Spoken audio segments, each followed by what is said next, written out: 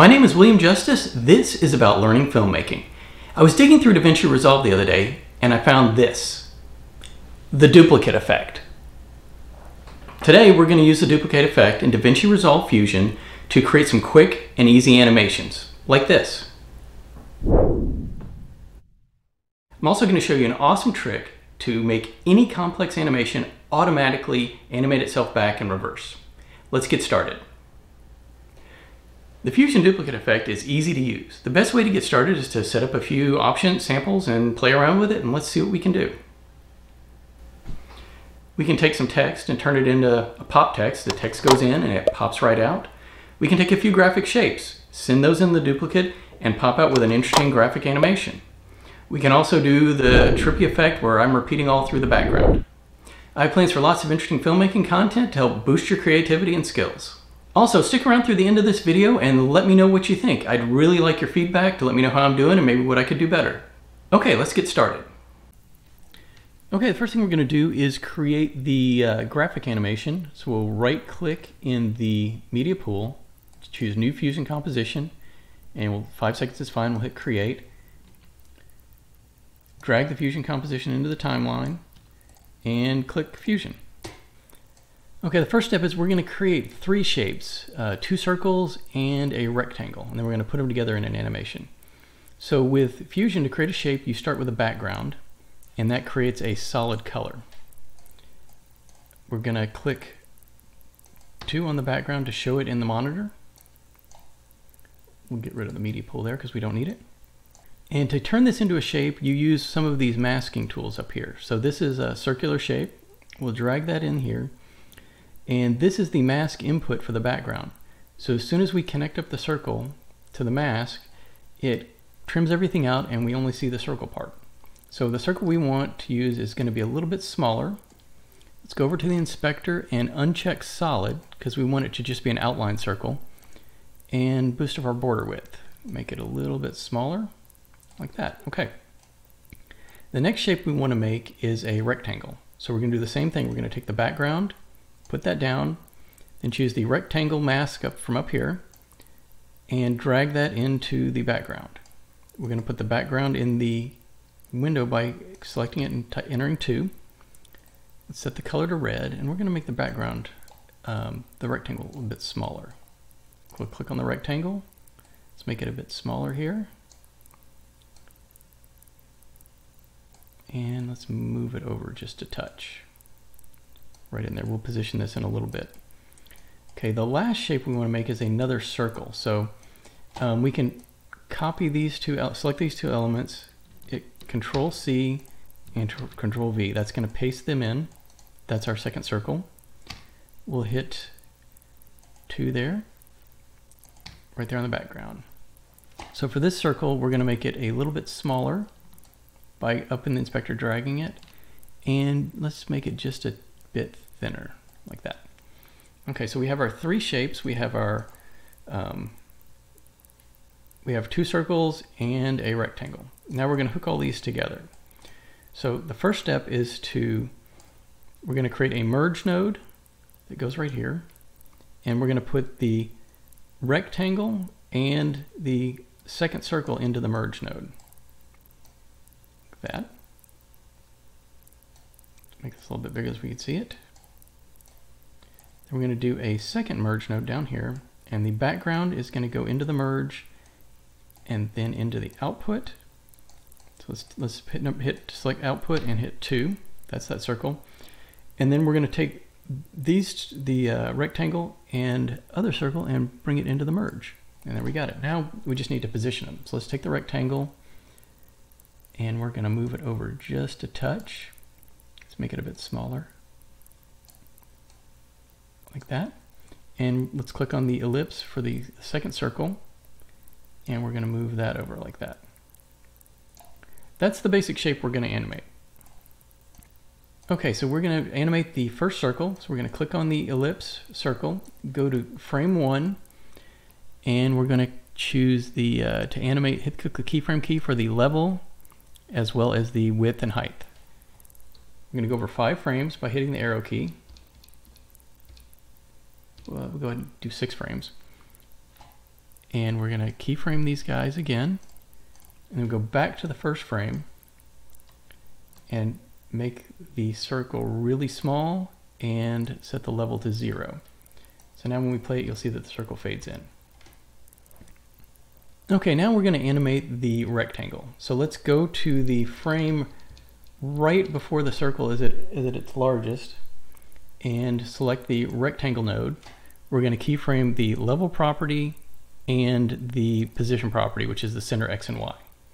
We're going to go over five, uh, six nodes, or six frames. One, two, three, four, five, six.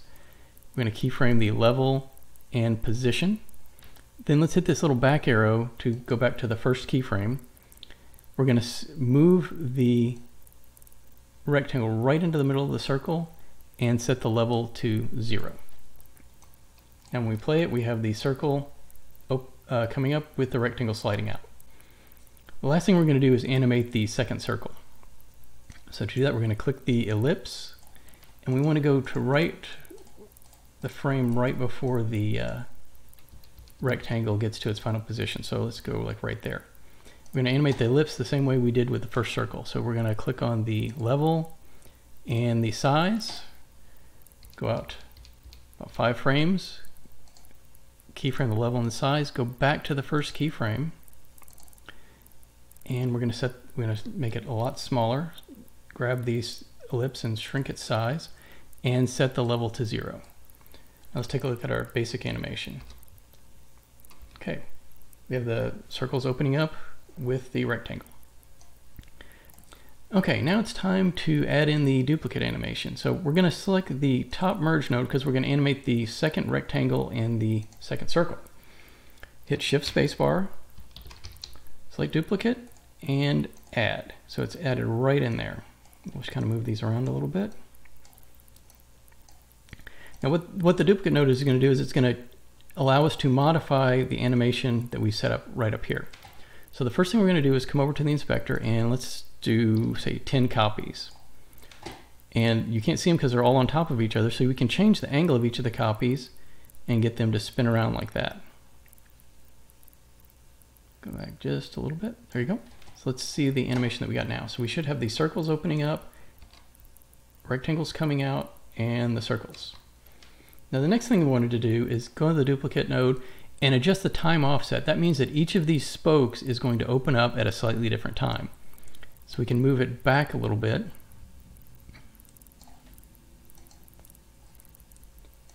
Just like that. And you'll see that they're, they're going to open up at a different time. That's an offset for when the animation affects each of the copies. Let's take a look at what we have. All right, that looks good. Okay, the animation is set up. Now we're going to use a neat trick to reverse the animation and have it um, animate out and collapse in on itself. To do this, we're going to use the time speed node. So we'll click in the, the node area, shift space, and type in time speed. Find the node and add it. So for the time speed node, we're going to connect that up with the merge at the bottom here into the input of the time speed. So what the time speed node does is it changes the speed or direction of the animation that's sent into its input. So we're going to click time speed, we're going to go to the inspector and set the speed to minus 1. Now click on time speed, hit, hit 2, so we see the time speed node in the inspector and you'll notice that it animates out just like that. And we'll put the merge and we'll put that in window 1 and enable both windows. And you can see in the beginning we have it animate in, this is the merge node, and at the end we have it animate out. This is the time speed node right here. So that what you can do is use a dissolve node in the middle of the animation to switch between the inputs on the dissolve. We'll show you how that works. Hit shift space, click dissolve. We're going to click uh, drag the dissolve right on the line between the merge and the media out. And we'll go ahead and bring up media out in the output window and we'll just do one. So right now we have the merge to the dissolve into the media out. And this is the basic animation. We'll take the time speed and drag that into the foreground of the dissolve. And the, you'll see that it plays the output there. So right in the middle right when the animation is completed, we're going to click on the dissolve, hit a keyframe, and we're going to switch between the foreground and background. So let's go back one frame and drag this so that we're showing the background as opposed to the foreground. So everything before this point is showing the background input. Everything after this point is showing the foreground input. So what we get is an animation that opens up and then collapses on itself, just like that.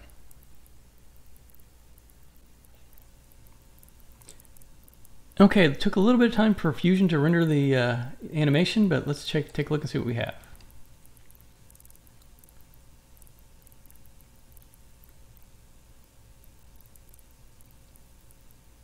All right, there we go. We have a simple animation using uh, a few shapes and the duplicate node, along with the uh, time, speed, and dissolve to help it go backwards and animate away.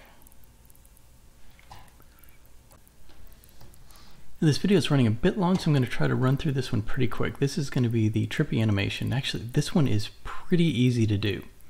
First thing we're going to do is we got our clip loaded into the timeline. We're going to go into the color tab. We're going to go to the power windows and choose this option. We're going to draw a mask around where we want. This can be really rough. It does not matter a whole lot for this effect. Draw it all the way around and go to the tracker, move to the beginning, and we're going to track forward.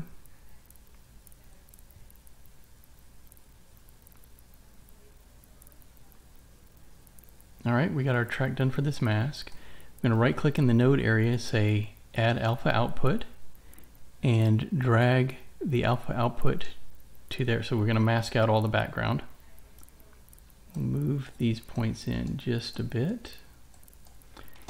Okay, we're going to go back to the power windows. And for the area there, we're going to expand the outside just a bit and soften it up. Okay, now we're going to go back to the Edit tab. Okay, we're going to right click on this and we're going to make it a new compound clip. And let's go into Fusion. So we have our clip in Fusion. We're going to click on the media hit shift space and add in the duplicate node. Add in there. We're gonna, for the number of copies, let's set it to 20. And all we got, all we need to do is adjust the size. Just space it, space the size out a little bit, and scroll down and set check merge under. And we have our animation. The last thing we want to do is just animate the number of copies. So we're going to go to the first frame and we're gonna keyframe copies.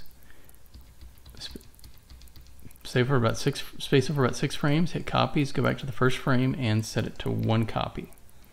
And that way when we start out we're going to animate in with the number of copies like that. We'll go to the very end of the animation hit the keyframe set we want set one copy go back about seven frames and set 20 copies. And that's about all there is. Go to the edit to preview it.